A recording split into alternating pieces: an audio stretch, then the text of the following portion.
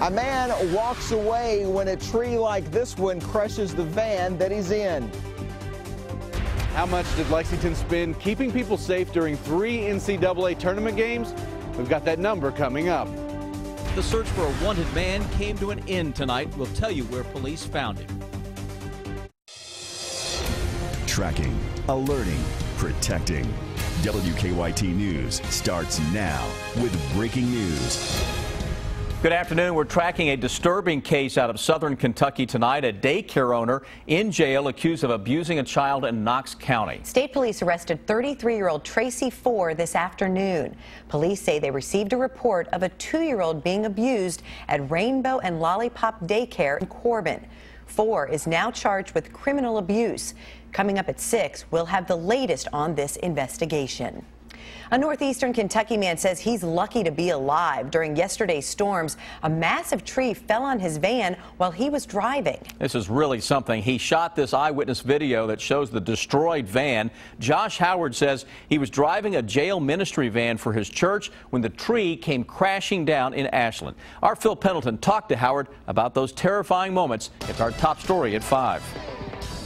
Central Park in Ashland is now closed mainly because of situations just like this. Massive trees down throughout the park. And Josh Howard says he was sitting in this park waiting to pick someone up when a tree just like this one came crashing down and crushed the van that he was in.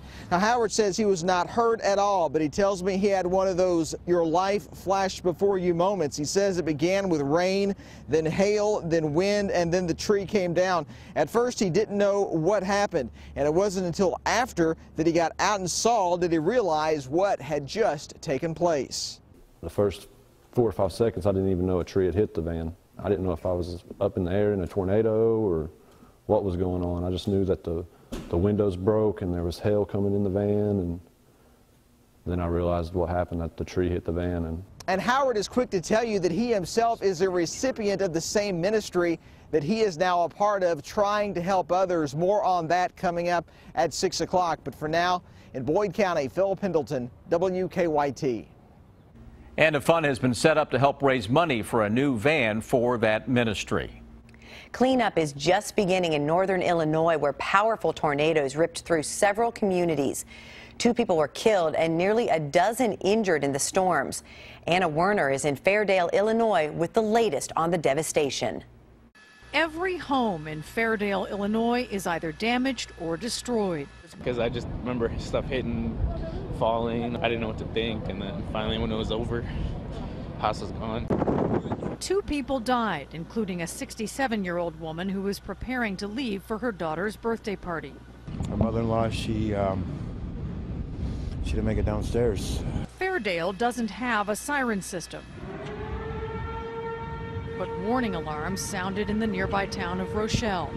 12 people rode out the storm in the basement of this restaurant. We pulled in here and ran inside Got a couple of pictures of the tornado right across the street from us here, and the man, uh, the owner said in the basement. And we went down in the basement. It took rescue crews 90 minutes to dig them out.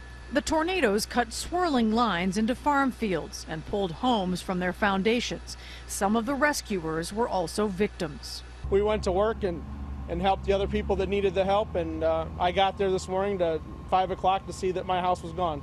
Some are now salvaging what they can from the massive piles of rubble, hoping to rebuild their lives. Anna Werner, CBS News, Fairdale, Illinois. Although those tornadoes did not touch down in Kentucky, people living here are feeling the effects of the damage. Kelly Lassiter lives in Kentucky but grew up about 45 miles away from Fairdale, Illinois. She has family and friends living in the area and had no contact with them for almost 24 hours. She was able to track what was going on through Facebook. My feed was full of people posting things and posting videos. My first thought was, I hope Uncle Don and my cousins are all okay because I knew they were in that area. Lassiter says her family is safe and their homes were not damaged during those storms.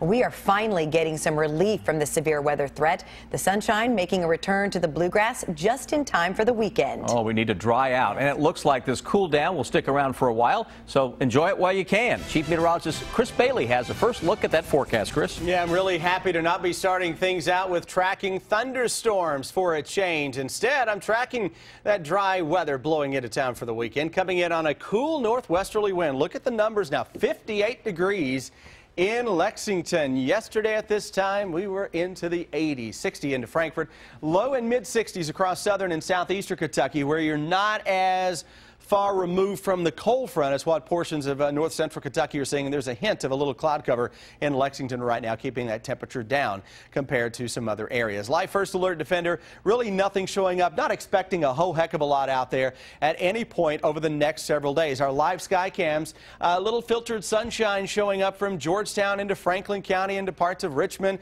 Lexington cams showing our Live First Alert Defender off, and you can see some of those ice crystal clouds that continue to show up right on on top of the area, though the farther north that we look, more in the way of blue skies and clear skies to the north and northwest. Focus of the forecast when I come back on a weekend break from the storms. Notice I say it's a weekend break from the storms. I've got the return of the boomers, guys, showing up in your hour by hour forecast as we go into early next week. That's coming up in about 10 minutes. Thank you, Chris. Well, streets of Lexington look a lot different tonight than they did this time last week. Police and city leaders made it their mission to make sure everyone stayed safe during the NCAA tournament celebrations. But as our Victor Puente found out, the extra safety precautions come with a cost. The neighborhoods around UK have calmed down quite a bit since basketball season ended. A large percentage of the money Lexington spent during the NCAA tournament was focused on this area, making sure there were plenty of police to keep it safe. The Sweet 16, Elite 8, and Final Four games cost the city of Lexington more than $75,000. More than 48,000 of that was spent on police to help handle the large crowds at South Limestone and State Streets. A few thousand went to code enforcement, waste management, and 911. More than 10,000 went to the fire department who had to stay on top of several small fires. Streets and Roads spent $6,700. They tell me that was for street sweeping and garbage pickup. Another 4,800 went to corrections, who had to handle 69 arrests during those games. The amount the city spent is down from last year. That included a championship game. The city says they spent more than $150,000 during those four games. Police say despite all of the officers required to handle those crowds, it didn't impact how they police the rest of the city. We don't sacrifice any service to the public to provide an atmosphere for people to celebrate. All our other functions are functioning as they normally would during that day of the week. The majority of the arrests made during those games were for alcohol intoxication or disorderly conduct, sometimes both. Of the 69 people arrested, only seven were identified as UK students. In Lexington, Victor Puente, WKYT. Earlier this month, Mayor Gray said the costs associated with the games were an investment because of the economic impact the university has on the city. The search for a wanted man out of central Kentucky has come to an end. The Casey County coroner tells us James Blakey was found dead this afternoon. Blakey was wanted on felony warrants out of Lincoln County. Police say Blakey threatened them and refused to surrender before running off earlier this week. His body will be sent for an autopsy to determine how he died. A well-known artist and Kentucky native is being remembered tonight. Ray Harm's family tells us he died last night. He'd been battling prostate cancer. Harm was known for his wildlife prints. His work received recognition in national newspapers, magazines, and documentaries. Ray Harm most recently lived in Arizona. He was 87 years old. The nice weather might have you thinking about yard work. Coming up, we'll tell you about an annual event that will get you ready for the outdoor season. And she inspired people across the country. Coming up on WKYT News at 5:30, how this college basketball player is being remembered.